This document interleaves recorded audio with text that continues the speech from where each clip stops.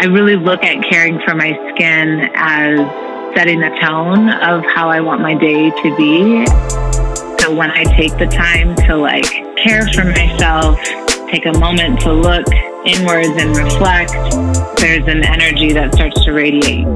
That light that you feel, that love that you feel turns into that glow.